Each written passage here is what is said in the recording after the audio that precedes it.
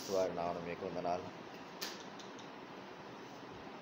ఈ ఉదయకాల సమయంలో మే మాసం చివరి ఆదివారం దినంలో ప్రభు మమ్మల్ని చేర్చేందుకు మిమ్మల్ని స్థుతిస్తూ గణపరుస్తూ పరుస్తాం జగటమంటు చేత మమ్మల్ని స్థుతించిన మా దేవ మట్టి వారమైన మేము మీ ఆత్మ చేత మీ యొక్క ప్రాణం చేత మీ జీవవాయువు చేత జీవించి చలిస్తూ ఉంటున్నాం. మీకు వందనాలు చెల్లిస్తాం ఈ సమయంలో ప్రభా కీర్తన ద్వారా మీరు స్థుతిస్తూ వచ్చాం ఘనపరుస్తూ వచ్చాం అదే రీతిలో వాక్యం ద్వారా వాక్యమును బట్టి వాక్యానుసారంగా నేను మేము మిమ్మల్ని స్థుతించి గణపరిచి మహింపరచుకు సహాయం చేయవలసి మనం చేస్తాం తండ్రి మీ సన్నిధి యొక్క గొప్పతనాన్ని గమనించిన వారే మీ సన్నిధికి రావడానికి అనుగ్రహించున్నాయన కనుక ప్రభు మీరే సహాయం స్థుతులు స్తోత్రాలు చెల్లిస్తాం. సహాయం చేయవలసి మనవి చేస్తాం ఏసు క్రీస్తు వారి జీవమైన నావన ప్రార్థించి వేడుచు డాప్ తండ్రి. బైబిల్ గ్రంథంలో నుంచి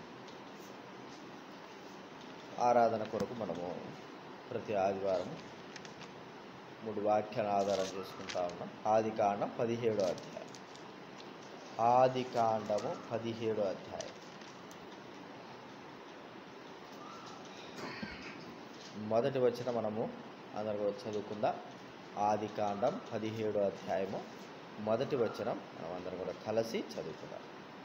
అబ్రాము తొంభై తొమ్మిది ఏండ్ల వాడైనప్పుడు యెహోవా ప్రత్యక్షమై నేను సర్వశక్తి గల దేవుడరు నా సరిధులు నడుచుచు నిందారహితుడవై ఉండును. అలాగే యోహాను రాసిన సువార్త పదో అధ్యాయం ముప్పై మూడో యోహాను రాసిన సువార్త పదో అధ్యాయము ముప్పై మూడో వచ్చిన అందరం చదువుదాం. పది ముప్పై మూడు. అందుకు యూదులు నీవు మనుష్యుడవయండి దేవుడని చెప్పుకొనుచున్నావు. గనుక దేవదూషణ చేసినందుకే నిన్ను రాళ్ళతో కుట్టుదుము కానీ మంచి క్రియ చేసినందుకు కాదని ఆయనతో చెప్పిరి. మూడో మాటగా రోమా రాసిన పత్రిక తొమ్మిదో అధ్యాయం. రోమేలుకి రాసిన పత్రిక తొమ్మిదో అదే బైబిల్ వెనక నుంచి నూట ముప్పై తొమ్మిదో పేజీ. బైబిల్ వెనక నుంచి నూట ముప్పై తొమ్మిది. రోమా రాసిన పత్రిక తొమ్మిదో అధ్యాయం ఐదో వచ్చాం అందరం చదువుదాం. అందరం కూడా చదువుదాం. పితరుడు వీరి వారు శరీరం బట్టి క్రీస్తు వీరిలో పుట్టిన ఈయన సర్వాధికారి అయిన దేవుడై ఉండి నిరంతరము స్తోత్రార్హుడై ఉన్నాడు. ఆమెన్. కాబట్టి ఈ దినము ఆరాధనలో ప్రతి ఆరాధన దినంలో మనము ఏసే దేవుడు అని ప్రభువును స్థుతిస్తూ కనపరుస్తూ వచ్చాం. తండ్రి అయిన దేవుడు ఒక్కడే యహోవా దేవుడు తండ్రి దేవుడు. ఆయనకు మాత్రమే పూజ అర్హుడని బైబిల్ గ్రంథంలో అనేక మీ విషయాలు మనం చూస్తూ వచ్చాం. అయితే అదే అర్హత అదే ఆధిక్యత భూలోకంలో శరీరధారిగా జన్మించినటువంటి యేసుక్రీస్తు వారు మాత్రమే కలిగి ఉన్నారని బైబిల్ గ్రంథం మనకు బహు స్పష్టంగా తెలపబడతా అందుకే మత స్వాత రెండో అధ్యాయం పదకొండవ వచనంలో మరి తూర్పు దేశం జ్ఞానులు వచ్చి యేసుక్రీస్తు వారు ఎదుట సాగిలపడ్డారు. సాగిలపడి ఆయన పూజించారు. అని వాక్యంలో వ్రాయాలి లూకాసువాత పదో అధ్యాయంలో మనం గమనిస్తూ ఉంటే అక్కడ పది రోజులు కుష్ఠరోగులు పది మంది కుష్ఠరోగులు. మరి వారు శుద్ధి పొందిన తర్వాత సమరుడు అనే వ్యక్తి వచ్చి మరి దేవుడు తమకు చేసిన కార్యం గుర్తించుకొని యేసుక్రీస్తు వారి ఎదుట సాగిలపడి ఆయన పూజించినట్టుగా బైబిల్ గ్రంథం మనకు సెలవిస్తారు ఇక ఏ మానవుడు కూడా ఈ లోకంలో ఎంత అధికారి అయినా సరే ఏ వ్యక్తి అయినా సరే పూజకు అర్హుడు కాడు అని మనము బహు స్పష్టంగా తెలుసుకోగలుగుతున్నాం కాబట్టి మరి ఈ పూజ గత దినాల నుంచి ఆ గొప్ప దేవుని యొక్క గొప్ప విశేషం ఏంటి? ఎందుకు ఆయన పూజారుడే చేపడుతున్నాడని గత దినాలు మనం చూస్తూ ఒక వాక్యంను ఆధారం చేసుకున్నాం. చెప్పగలరా ఆ వాక్యంను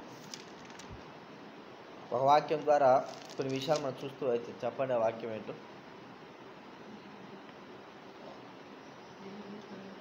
నెహమ్యా? నెహమ్యా గ్రంథం తొమ్మిదో అధ్యాయము పది పదిహేడో వచ్చాడు నెహమ్యా గ్రంథం తొమ్మిదో అధ్యాయం. బైబిల్ ముందు నుంచి నాలుగు వందల ఎనిమిదో పేజీ. బైబిల్ ముందు నుంచి ముందంటే అటు ఇలా నాలుగు వందల ఎనిమిదో పేజీ. వేల పైన ఉంటుంది నాలుగు వందల ఎనిమిది అని పైన వేల. తొమ్మిదో అధ్యాయము పదిహేడో వచనం. నిహమ్య తొమ్మిదో అధ్యాయం పదిహేడో వచనం. చదువుకున్నాను.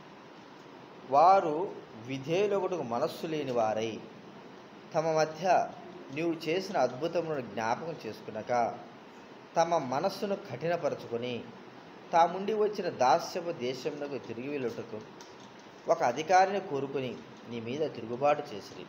అయితే నీవు క్షమించుటకు సిద్ధమైన దేవుడు దయాళ వాత్సల్యము గలవాడు దీర్ఘశాంతమును బహు కృపయు గలవాడనేవి వారిని విసర్జింపలేదు. గత దినాల్లో మరి మనము కొన్ని చూసాం చెప్పగలరా అవి? ఏమేమి చూసి వచ్చామో? క్షమించుటకు సిద్ధమైన దేవుడు ఒకటి దయగలిగిన దేవుడు ఒకటి వాత్సల్యత కలిగిన దేవుడని మనము ఈ మూడు విషయాలు గత మూడు వారాల గురించి మనము ధ్యానిస్తూ వచ్చాం. నాలుగో వారంగా దీర్ఘశాంతము. ప్రభైన దేవునికి దీర్ఘశాంతము గల దేవుడు అని పేరు కూడా మనం చెప్పుకోవచ్చు. చూడండి కొన్ని విషయాలు మనం ఆధారం తీసుకున్నాం సంఖ్యాకాండం పద్నాలుగో అధ్యాయం పదిహేడో వచ్చిన సంఖ్యాకాండము పద్నాలుగో అధ్యాయం బైబిల్ ముందు నుంచి నూట ఇరవై రెండు. బైబిల్ ముందు నుంచి నూట ఇరవై రెండు. సంఖ్యాకాండం పద్నాలుగో అధ్యాయము పదిహేడో వచ్చి నేను చదువుతా వినండి. యహోవా దీర్ఘశాంతుడును కృపాతిశయముడును కృపాతిశయుడును. కదండి? దీర్ఘశాంతుడును కృపాతిశయుడును. అదే ప్రకారంగా నిర్గమాకాండంలో కూడా ముప్పై నాలుగో అధ్యాయంలో ఆరో వచనంలో మనం చదువుకోవచ్చు. ముప్పై నాలుగు ఆరో వచనం. నిర్గమాకాండం. ముప్పై నాలుగు ఆరో వచనం. అందరం చూద్దాం బైబిల్ ముందు నుంచి డెబ్బై నాలుగో పేజీ. నిర్మకాండం ముప్పై నాలుగో అధ్యాయము ఆరో వచనం. అదే యహోవా దాటి వెలుచు యహోవా కనికరము దయ దీర్ఘశాంతము విస్తారమైన కృపా సత్యములు గల దేవుడైన యహోవా. ఎవరండి? అతని ఎదుట యహో దాటి వెలుచు యహోవా కనికరము దయ దీర్ఘశాంతం విస్తారమైన కృపా సత్యములు గల దేవుడైన యహోవ. దయగల దీర్ఘశాంతం కలిగినవాడు దీర్ఘశాంతము అని మనము చూస్తూ ఉంటున్నాం. ఇంకా మనం ఆలోచిస్తే కీర్తన రెండు వాక్యాలు మనం ఆధారం చేసుకుంటే ఆయన ఎంత దీర్ఘశాంత దీర్ఘశాంతం గురించి మనకు బహు స్పష్టంగా తెలపడతారు నూట మూడవ కీర్తన ఎనిమిదవ వచనం. బైబిల్ మధ్యలో నుంచి ఐదు వందల ఐదో పేజీ నూట మూడో కీర్తన ఎనిమిదో వచనం. నేను చదువుతా విరాట్ యహోవా దయా దాక్షిణ్య పూర్ణుడు దీర్ఘశాంతుడు కృపా సమృద్ధి గలవాడు. కృపా సమృద్ధి కలిగాడు దా దీర్ఘశాంతుడు అని మాట. ఆయన దీర్ఘశాంతి ఎంత గొప్పదో ఈ భూలోకంలో ఎవరు కూడా తెలుసుకోలేదు. చూడండి ఇన్ని అరాచకాలు జరుగుతూ ఉన్నాయి ఇన్ని మోసాలు జరుగుతూ ఉన్నాయి ఇంత పాపం జరుగుతూ ఉంది బహుఘోరంగా జరుగుతూ ఉంది. ప్రజలు మరి విచ్చలవిడిగా తిరుగుతూ ఉంటున్నారు. మరి నేరములు ఘోరాలు హత్యలు వ్యభిచారాలు మోసాలు ఇంకా ఎన్నెన్నో జరుగుతూ ఉంటున్నాయి. అయితే వెంటనే ఆ దేవుడైన ప్రభు ప్రతీకారం చేయకోకుండా ఆయన మానవుడిలో చూపే దీర్ఘశాంతం ఎంత గొప్పది అంటే అది వివరించలేనంత గొప్పది. ఎవరు కూడా ఆ దీర్ఘశాంతాన్ని వివరించలేదు అన్నిటికంటే ఆ ప్రభు దేవుడు అన్ని దీర్ఘశాంతం కంటే ఒక విషయంలో ఆయన దీర్ఘశాంతం చూపుతూ వచ్చాడు. అది మనం గమనిస్తూ ఉంటే ప్రభు అయిన యేసుక్రీస్తు వారు తన కుమారుడైన ఒకే ఒక కుమారుడు సొంత కుమారుడు ప్రియమైన కుమారుడు అంటే యేసుక్రీస్తు వారు ఆయన్ని చంపుతా ఉన్నప్పుడు కొడతా ఉన్నప్పుడు సిలువ వేస్తూ ఉన్నప్పుడు మేకులతో ఆయన శరీరంలో దించుతూ ఉన్నప్పుడు. మరి ఆయనను యేసుక్రీస్తు తన కుమారుడు యేసుక్రీస్తు అని సిలువ పైన వ్రేలాడదీసి అవమానపరుస్తూ ఉన్నప్పుడు. ప్రియమైన వాళ్ళ ఆ ప్రభైన తండ్రిని దేవుడు దీర్ఘశాంతముతో చూస్తూ ఉన్నాడు. ఇదే మరి ఈ బైబిల్ అంతట్లో కూడా తండ్రి అయిన దేవుని యొక్క దీర్ఘశాంతము ఇక్కడ మనకు కనపడతా. ఏ తండ్రి కూడా తన కుమారుడు చనిపోతూ ఉంటే కళ్ళెదుట చనిపోతూ ఉంటే చూస్తూ ఊరుకుండలేడు కానీ ప్రభుైన తండ్రి తండ్రి దేవుడు యహోవా దేవుడు చూస్తూ ఉన్నాడంటే అన్ని దీర్ఘశాంతముల కంటేను ఆ వచనం మాత్రమే. ఆ కుమారుడైన ప్రభుని యేసుక్రీస్తు అని హింసిస్తున్నప్పుడు తండ్రి దేవుడు చూస్తూ ఉన్న ఆ సమయమే గొప్ప దీర్ఘశాంతం. ఒక్క క్షణంలో ఆయన సమస్త ప్రజలను నాశనం చేయగలిగినటువంటి అత్యధిక శక్తి కలిగిన వాడు. తన కుమారుని హింసిస్తా అంటే చూస్తూ ఉన్నాడంటే ఎంత దీర్ఘశాంతం కలిగిన వాడో ఒకసారి మనము ఆ తండ్రిని దేవుడు మనము గుర్తించుకోవచ్చు. కాబట్టి ఈ దీర్ఘశాంతము మానవుడుల మానవుడులు ఎంత చూపించాడు ఎంత దీర్ఘశాంతం కలిగి ఉన్నాడు అనేది ఒకసారి ఆలోచిస్తే ప్రియమైన వాళ్ళరా బైబిల్ గ్రంథంలో మనం చూస్తూ ఉంటే ఆ తండ్రిని దేవుడు మానవుడు సృజించిన తర్వాత వారు తప్పు చేసి పాపం చేసిన తర్వాత మరి దేవుని దూరం అయిపోతూ ఉంటే ఎంతగా దూరం అయిపోయినారంటే ప్రజలందరూ కూడా తమ మార్గంలో సంపూర్ణంగా చెరిపివేసుకున్న వారే ఉంటున్నారు ఆ ప్రజలలో కొన్ని వేల లక్షల ప్రజలలో ఒక్కడు మాత్రమే నోవాహు మాత్రమే మరి నీతిమంతుడుగా తీర్చబడినట్టుగా నీతిమంతుడుగా ఉన్నట్లుగా మనం అక్కడ చూస్తూ ఉంటున్నాం. ఆయన దీర్ఘశాంతము ఎంత గొప్పది? ప్రియమైన వాళ్ళరా ఆ దీర్ఘశాంతము మనము కొలత వేయలేము. ఆయన సహించి సహించి అంటే ఈ దీర్ఘశాంతానికి మరో పర్యాపదాలు కూడా చెప్పుకోవచ్చు. ఓర్పుని చెప్పుకోవచ్చు. ఓర్పు. తర్వాత సహనము కూడా మనము చెప్పుకోవచ్చు. సహనం. ఓర్చుకోవడం. సహనం కలిగి ఉండడం. ఎన్ని జరుగుతూ ఉన్నా ఆ, మరి ప్రత్యక్షంగా పరోక్షంగా మనకు అన్యాయం జరుగుతూ ఉన్నా సహనము కలిగి ఉండడం అనేది దీర్ఘశాంతానికి మరి మనం చూస్తే అదొక ఆనవాలుగా దీర్ఘశాంతానికి మన ఆ విధానం మనం గుర్తించవచ్చు.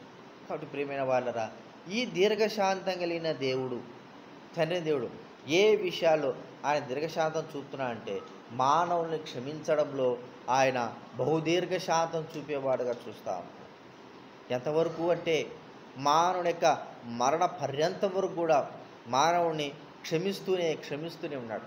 ఒక మాట ఆలోచిస్తూ ఉంటే మరి బైబిల్ గ్రంథంలో చూస్తే ఇస్రాయల్ యొక్క జీవితాలు మనం ఒకసారి జ్ఞాపకం చేసుకుంటే వారు ఒకరోజుగా రెండు రోజులుగా ఒక వ్యక్తులుగా ఇద్దరు కాదు లక్షల జనాభాలో ఉంటున్న వారు. సుమారు నలభై సంవత్సరాల వరకు కూడా దేవుణ్ణి విసికించి వేసారించి బాధపెట్టి ఎన్నో విధాలుగా ఆయనకు కోపం తెప్పించారు. అయితే ఆయన దీర్ఘశాంతము ఎంత గొప్పది. నలభై సంవత్సరాలు వారిని నడిపిస్తూ సహిస్తూ ఓర్చుకుంటూ ఓర్పు కలిగిన వాడే సహనం కలిగిన వాడే ప్రేమైన వారిని వారిని క్షమిస్తూ వచ్చాడు. ఆ క్షమ ఆ ఆ విషయాలు మనం గమనిస్తూ అంటే సంఖ్యాకాలం వస్తే యాకోబులో ఏక దోషమో లేదు అని చెప్తా ఉన్నాడు. ఎంత సహనం ఉంది ఎంత ఓర్పు ఉంది ప్రియమైన వాళ్ళు ఎంత దీర్ఘశాంతం ఉంది తండ్రి అని గమనిస్తే మనకు అలాంటివి రాదు. ఇస్రాయేల్ చేసిన తప్పుల విషయం గమనిస్తే ఏవో అంటా ఉంటాడు ఆయన ఆయన అన్నాడు ఒకసారి కూడా నువ్వు ఒకసారి పక్క మోసే వీళ్ళందరూ ఒక క్షణంలో చంపేస్తాను అంద మా తర్వాత నీకు సంతానాన్ని పుట్టిస్తాను అన్నాడు. అయితే మోస అడ్డుపడిన తర్వాత తను దీర్ఘశాంతం కలిగిన వాడే.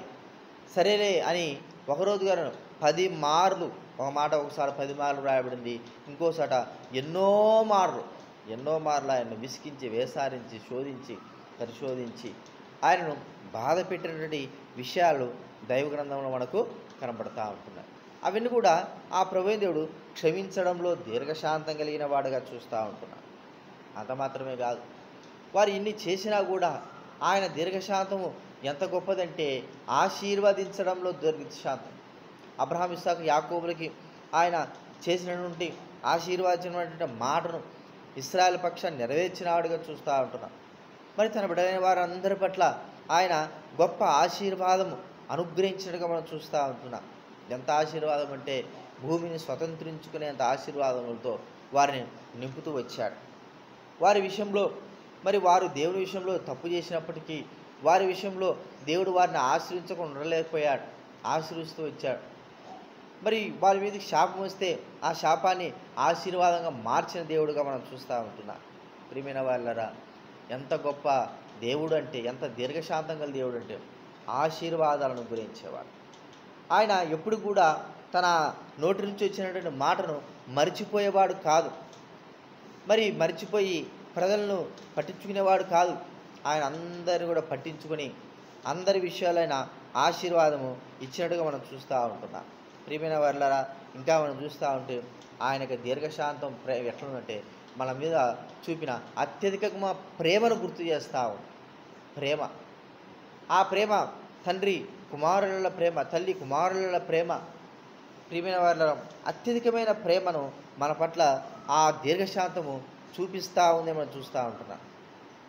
బిడలు తప్పు చేసినప్పుడు తల్లిదండ్రులు వారి మీద ప్రేమను బట్టి వారిని కొట్టడం కానీ లేకపోతే ఏమి చేయరు. ఒకవేళ ఏదో ఊరికి అట్లా అంటారు. ఏమనంటే చిన్నపిల్లలు కదా వాళ్ళు తెలుసుకుంటారంటారు. పెద్ద అయిన తర్వాత కూడా మరి ఏమి కూడా అనరు. ఎందుకంటే వారి మీద ప్రేమ అలాంటిది. దీర్ఘశాంతం. వారు ఎన్ని తప్పులు చేస్తున్నా కూడా తల్లిదండ్రుల వారు దీర్ఘశాంతం కలిగి వారి మీద ఉంటున్న ప్రేమను బట్టి వారిని క్షమిస్తూ వారిని మరి నడిపిస్తూ వచ్చేవారుగా చూస్తూ ఉంటున్నారు అలాగ అంతకంటే గొప్పగా తండ్రి దేవుడు మన పట్ల చూపిన ప్రేమను మనము మర్చిపోకూడదు మనం చూస్తాం. చూడండి మొదటి పేతురు రాసిన పత్రిక మూడో అధ్యాయంలో ఇరవై వచ్చిన మొదటి పేతురు మూడు ఇరవై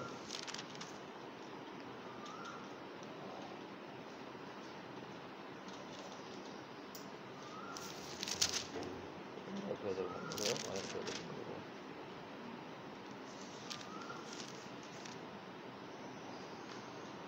ఆయన దీర్ఘశాంతము.